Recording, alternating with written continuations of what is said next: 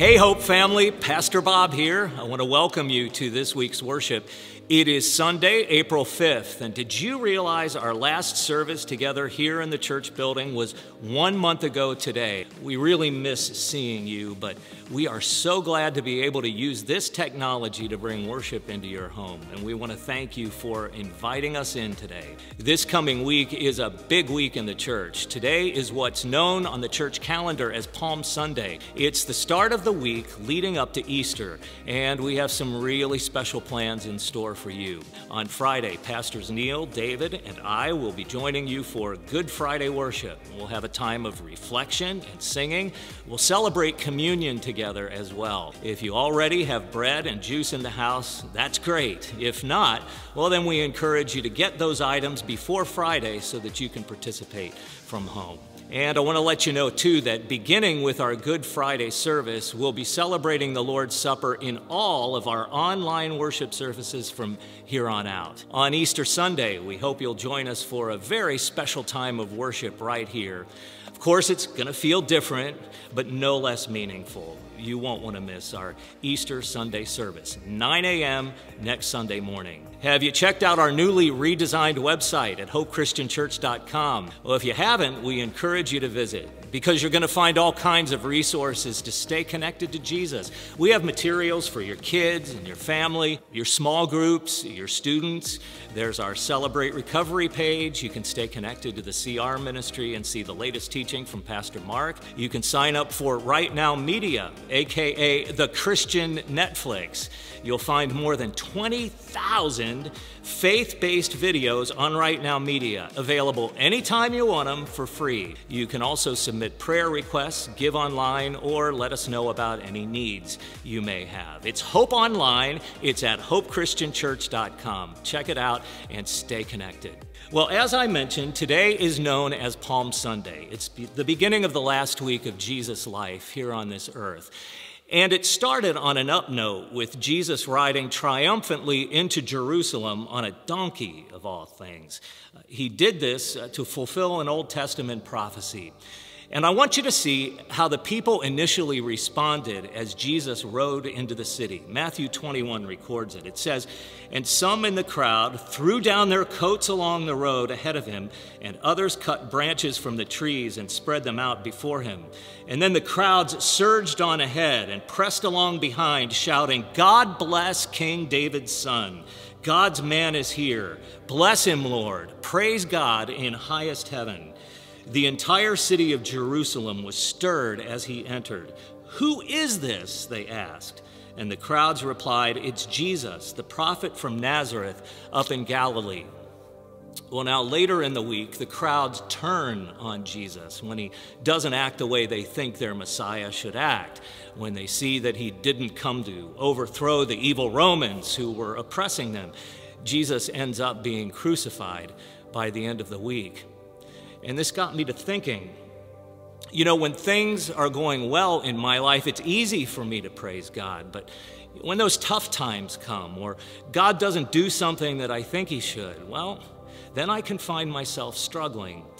The Apostle Paul says, I have learned to praise the Lord and be thankful in all circumstances. And the truth is, we all have tons of reasons to praise God. Got a big one for you right now. If we've put our trust in Jesus for our salvation, we are no longer dead in our sins. The Bible says we've been made alive. We once were condemned in darkness, but because of God's love and His mercy through Jesus, our sins have been erased, and God declares us righteous. So, with that thought in mind, that we've been made alive, why don't we really worship our King with glad and grateful hearts today? Let's pray. Lord, we pray that you'll bless this time of worship today for your glory and for our growth. And we pray this in the name of Jesus, our Lord and Savior. Amen. Well, good morning, church family. We hope you're doing great today. Come on, let's sing together. I once was dead in sin,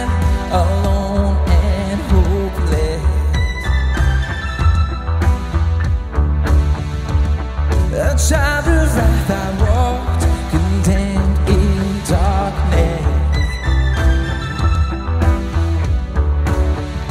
But your mercy brought me light And in your loving kindness Raised me up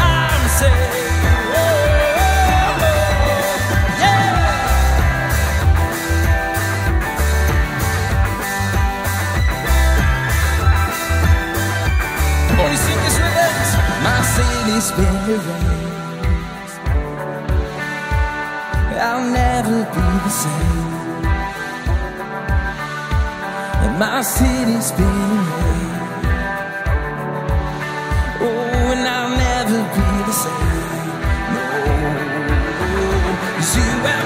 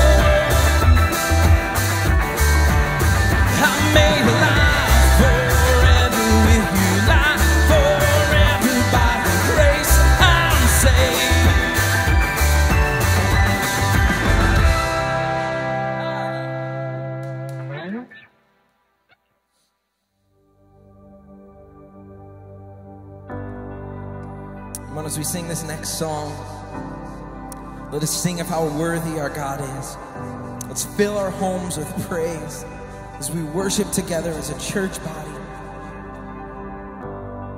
Let's worship Him with every breath in our bodies. We owe it all to you, Jesus. All to you. Come on, we sing this together. worthy of every song we could ever sing, and worthy all the praise we could ever bring. And worthy of every breath we could ever breathe. We live for you.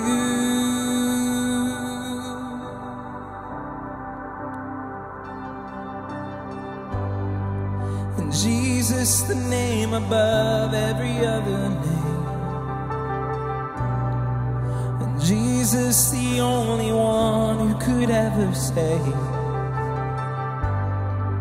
He's worthy of every breath we could ever breathe. We live for you.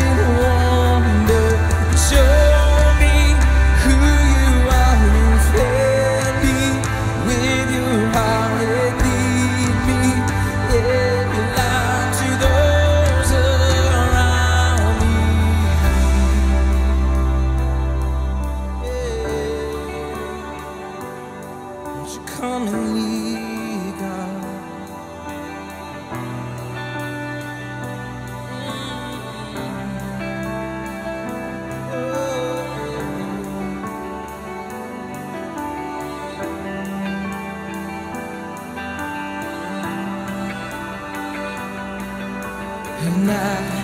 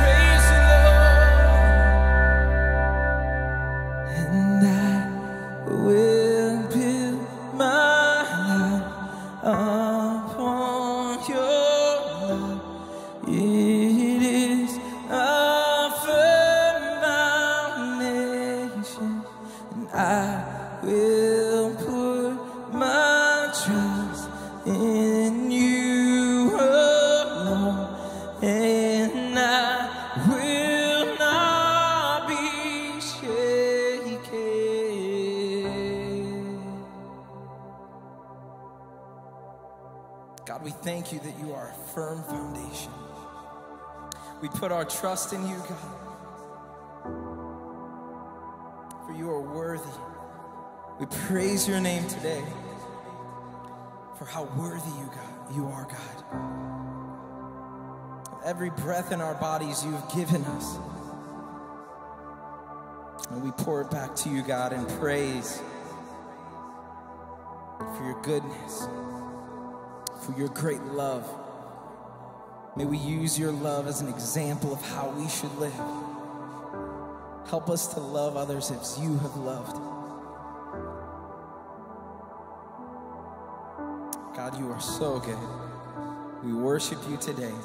It's in your mighty name we pray. Amen.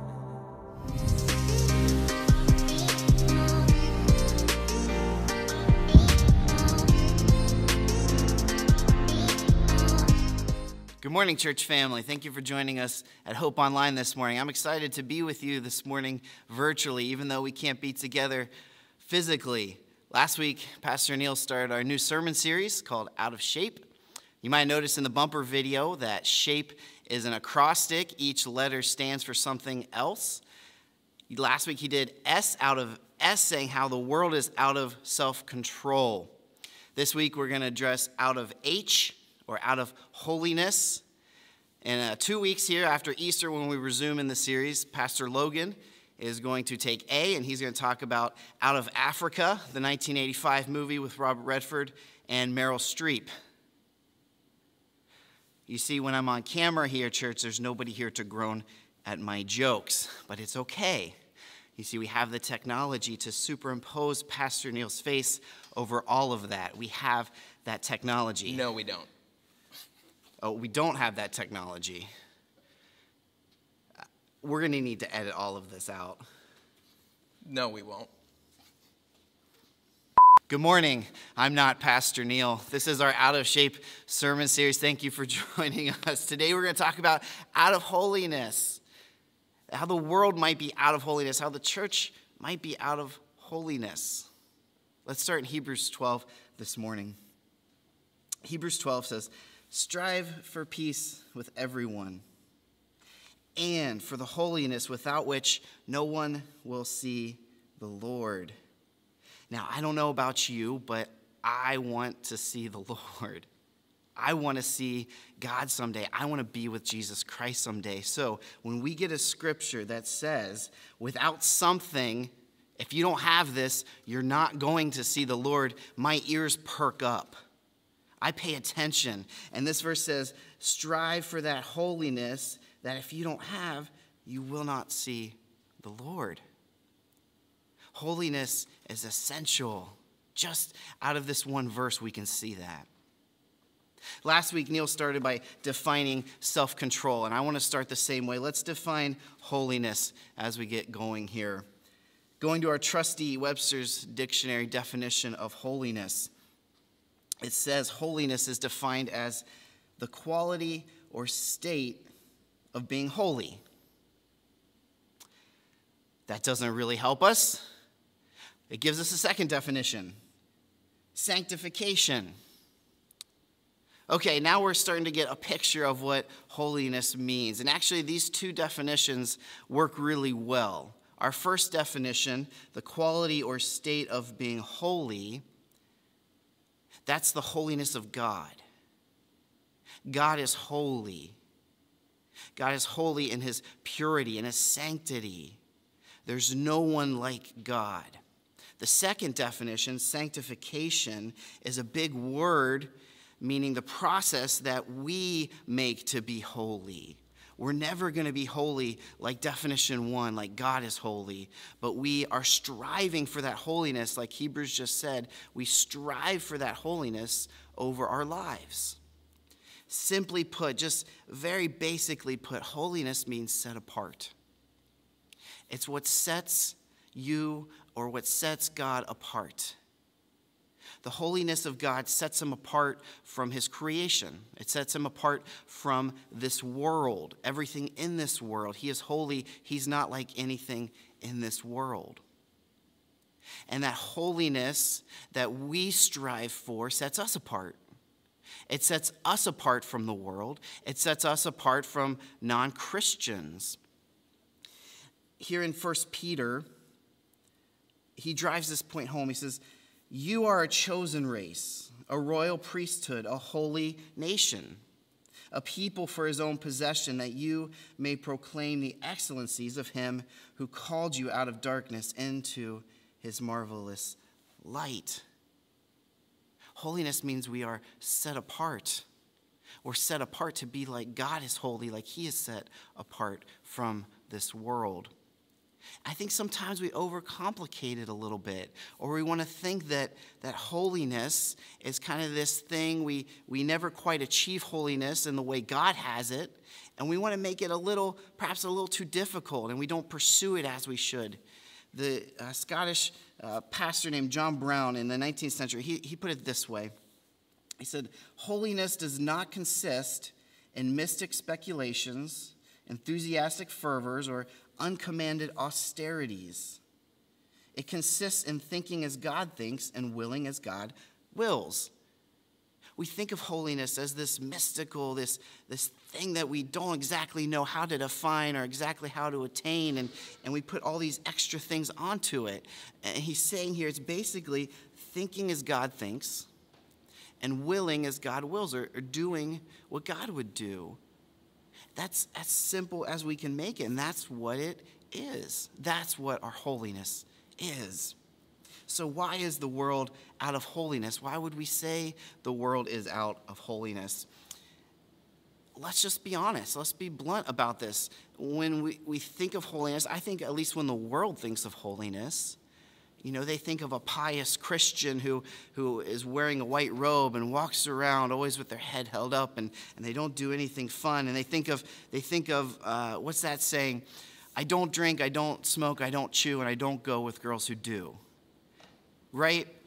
It's not fun. It's not hip. It's not relevant. The world doesn't think holiness is fun. And I don't know if you know this or not, but the world is interested in what is fun and hip. John and or excuse me, Jesus in John 15 said this. If you were of the world, the world would love you as its own. But because you're not of the world, but I chose you out of the world. There's that, that setting apart. He set us apart. I chose you out of the world. Therefore, the world hates you. Our holiness is going to set us apart from the world. But our holiness is what we need to see the Lord. I'm more interested in what it's going to take to see the Lord than what the world thinks of as hip or fun or relevant.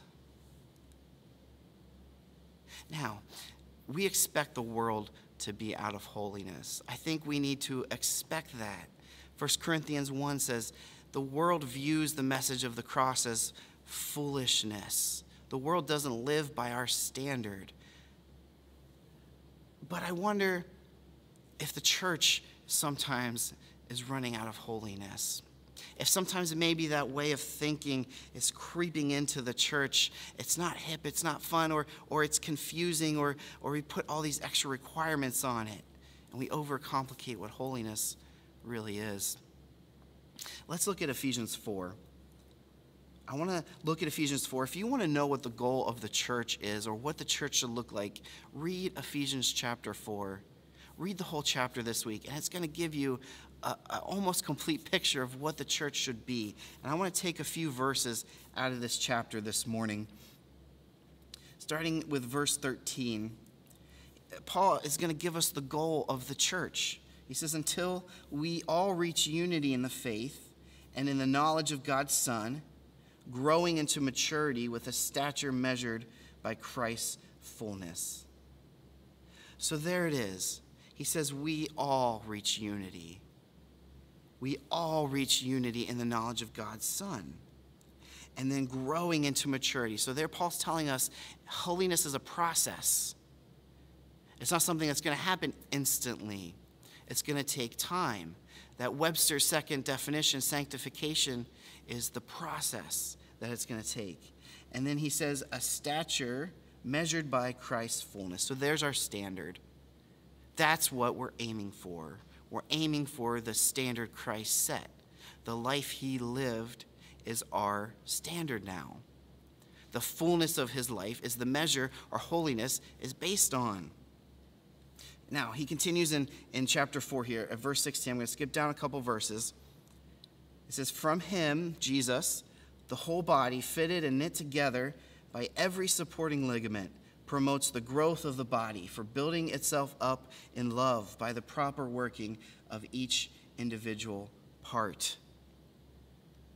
You see, we're supporting each other.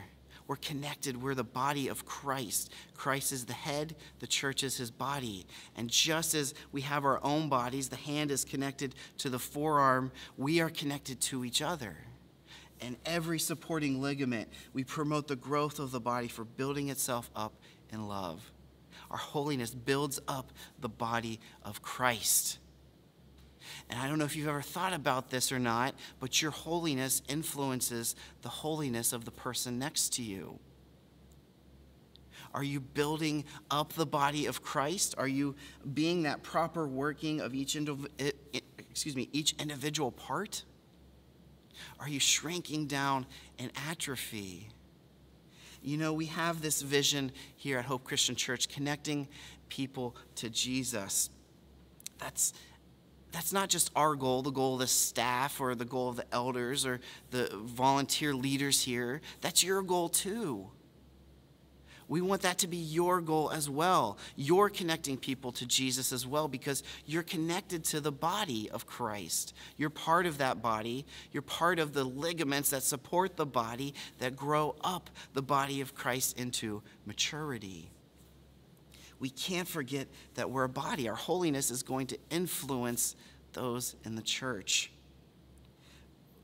So, what does holiness look like personally?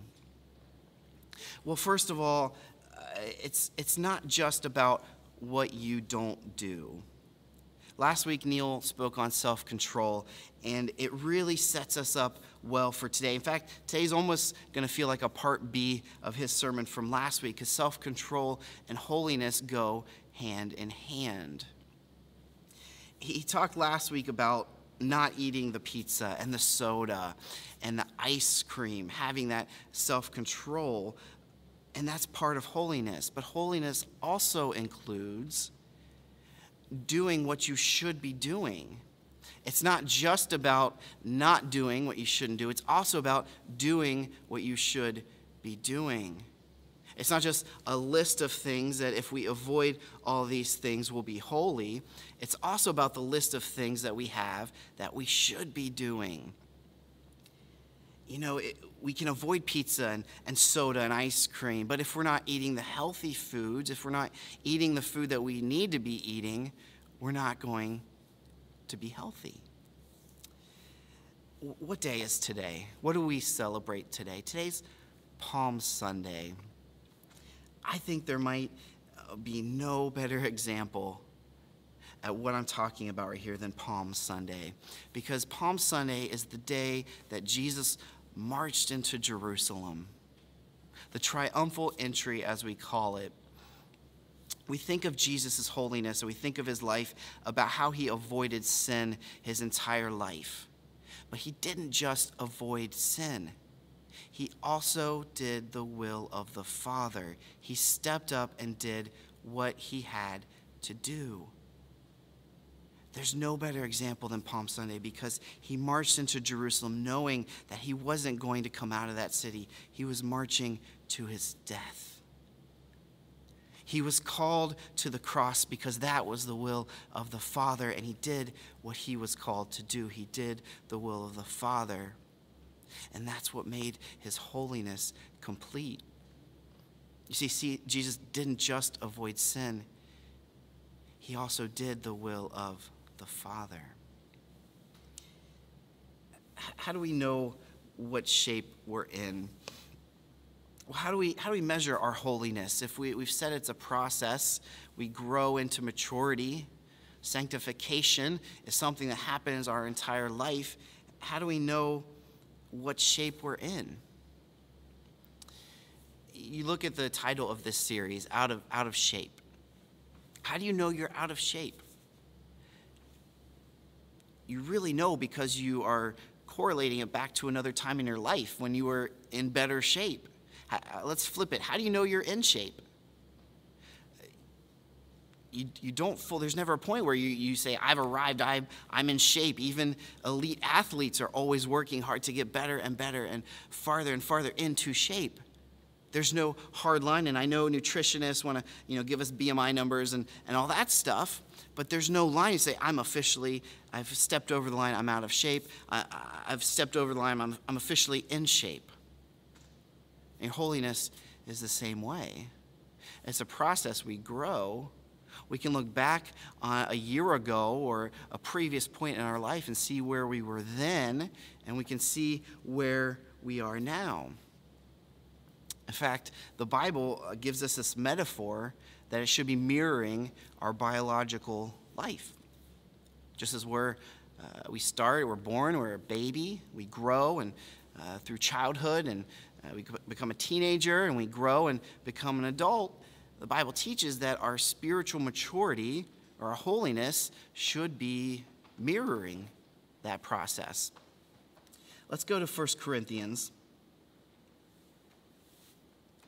chapter 3, starting in verse 1. Paul here says to the Corinthian church, now the Corinthian church got two letters in the New Testament, and historians believe there were at least four letters to the Corinthians, Corinthian church. Uh, they had a lot of issues. They did. Paul had a lot of things to address. Uh, they had a lot of uh, problems in their church. And we see him using this example of growing in holiness, and he's, he draws that comparison to the, to the biological life. Starting at the, toward the beginning of the first letter here in chapter 3, he says, But I, brothers, could not address you as spiritual people, but as people of the flesh, as infants in Christ. I fed you with milk, not solid food, for you were not ready for it. He's calling them infants in Christ, he's calling them babies. Now, when you become a believer, when you are a new Christian, you don't become a spiritually mature Christian overnight. There's no switch that flips, and you immediately uh, think as God thinks, and you will as God wills. You are a baby, just like when you were born. And just like when you're an actual baby, when you are a, a, new believer, you're taking in massive amounts of information. You're, you're learning so much. But you also don't understand risk. You also don't understand direction. You also don't understand authority. And those are some of the first things you learn as a new Christian. You're under the authority of Christ now. And you have to learn all of that stuff. And when you're a baby, it feels like it's just a list of the things you shouldn't do. And that's just everything you're being told. And we don't always understand it all when we're a new believer. I don't understand why, you know, we don't we don't drink, we don't smoke, we don't chew, and we don't go with girls who do. We don't understand why it feels like just a list of the things we don't do.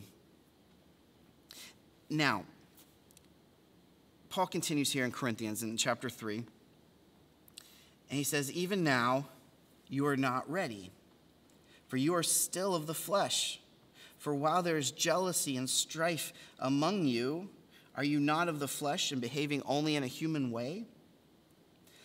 We see Paul's frustration starting to come out with the Corinthians. He's, he's been to this church, he's taught them in person, he's, he's sending them letters, encouraging them, teaching them. And we hear a little bit of frustration. He says, You guys still aren't ready. You guys are still acting like babies. You're acting of the flesh, you're acting worldly still. You know, babies are, are really cute and babies are adorable. And, but if when they get to be 9, 10, 11 years old and, and that kid is still acting like a baby, it, it starts to get kind of sad. And we, we see that frustration here.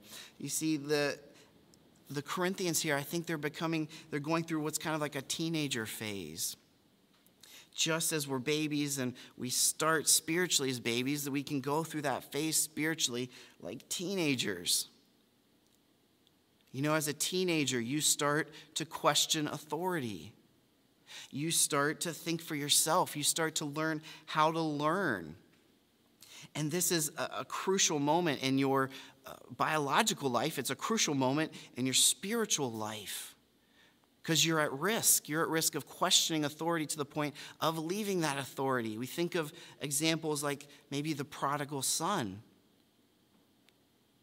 or we even maybe go the other way. We think of the parable of the soils and, and the seed that was choked out by the thorns because the, the world came along and, and enticed them and drew them away from the word. It drew them away from their holiness. Or maybe even uh, like a teenager, you know, they, they start to uh, stink under the armpits. We start to stink under the armpits spiritually. We've learned a little bit of what God's word says. We know a little bit of truth, and we start to get judgmental with it. We, we don't understand that we're just a teenager still, and we think we're an adult, and we start to judge the adults. So we start to even judge the, the, the little ones, the infants behind us, because they're not as mature as we are, because we've arrived. And there's a trap there that we can fall into, and the Corinthians were falling into that trap as well. Later in Corinthians, here in chapter 13, Paul says, When I was a child, I spoke like a child. I thought like a child. I reasoned like a child. When I became a man, I gave up childish ways. And there is the goal. Paul's saying, You need to grow up. You need to grow up spiritually. That is the goal, is to become an adult. As an adult, we start to have answers. As an adult, you start to take responsibility for yourself. You know, you have seen habits of sin that have, that have formed in your life or patterns of sin, and you take responsibility for that and you work at breaking those patterns.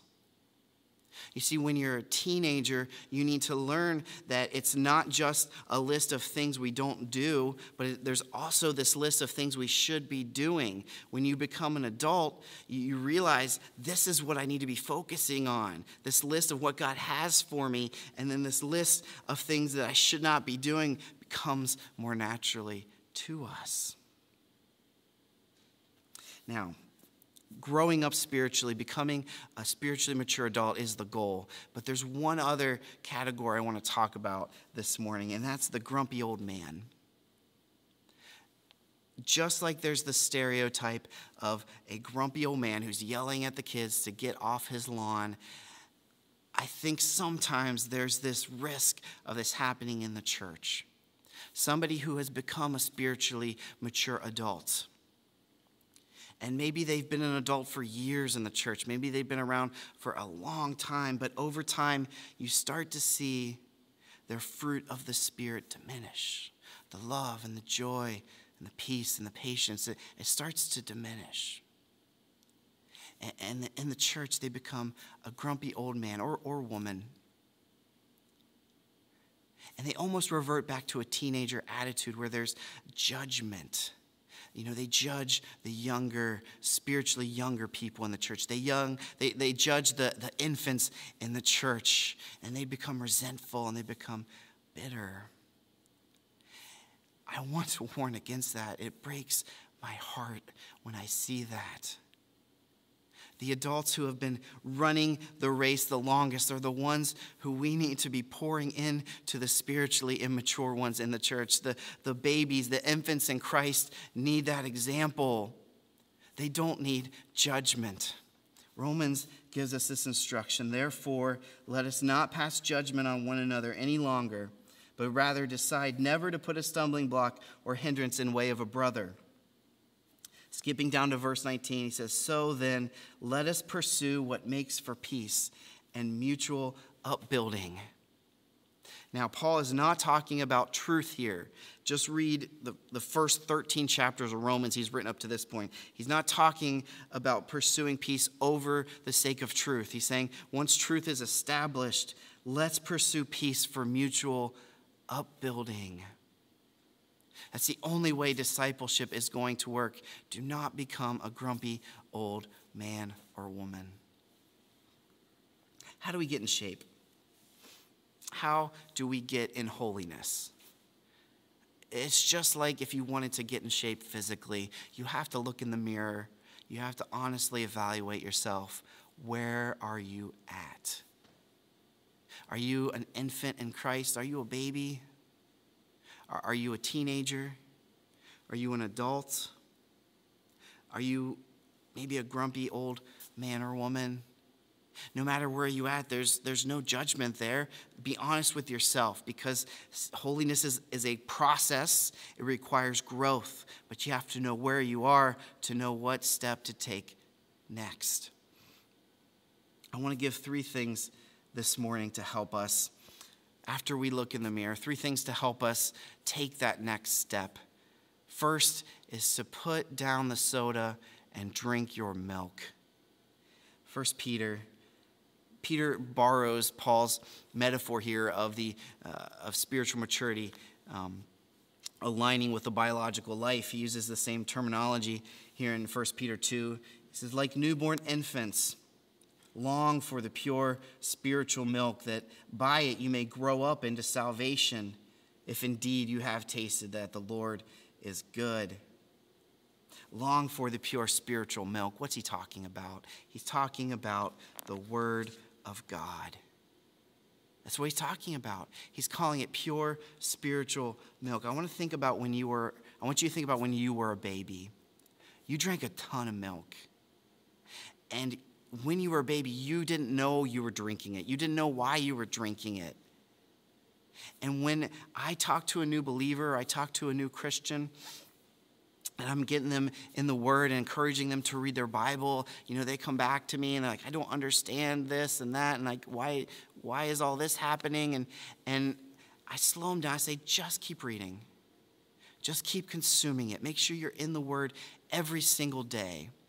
Just as that baby was drinking milk, it couldn't explain why that milk was good for it.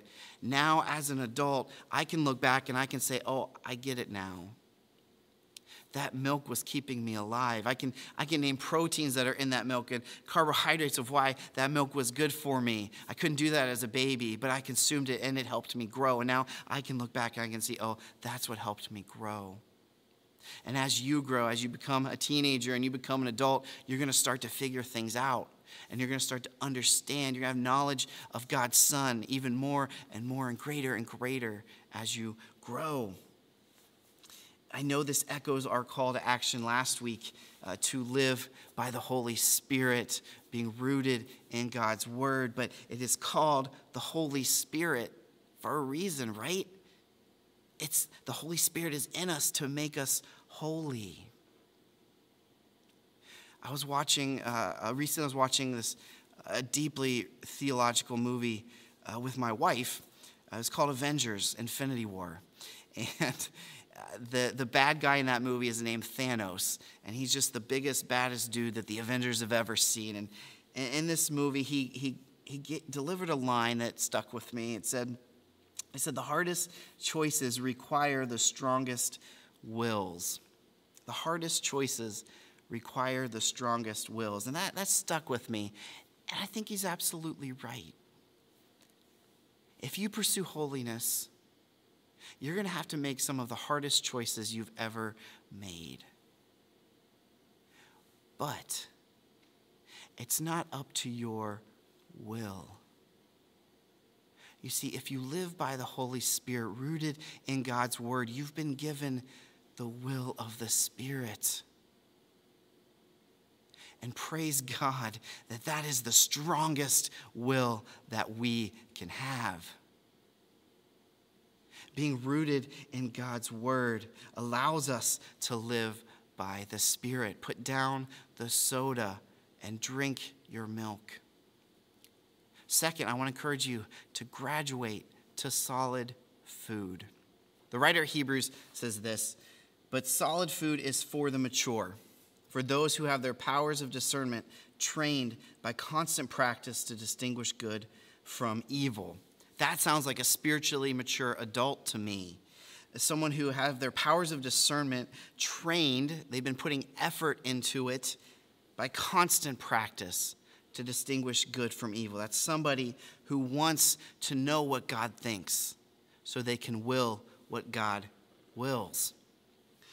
Graduating to solid food means stepping up to do what God has for you to do, moving from the list of don'ts to the list of do's. It is Jesus marching into Jerusalem on Palm Sunday, knowing he was going to be crucified, knowing he was accomplishing the will of the Father. If graduating to solid food is something you're serious about, I want to recommend this book. It's called The Pursuit of Holiness by Jerry Bridges. This is a book I read last year, and it changed the way I think about holiness. I know we might have some more time on our hands. I want you to check this book out. I want you to read. It's not a long book, it's not even particularly hard to read, but there's a lot of great practical biblical advice in this book on holiness.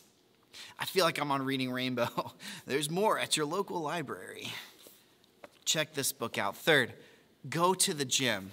I'm not talking about breaking any shelter in place laws or anything like that. I'm talking about using your church. Using your church as more than just a place to show up on Sunday mornings. You see, at, at the church, we're going to find people that are like minded as us, that have the same goal. We're going to find those other parts of Christ's body that we are supporting.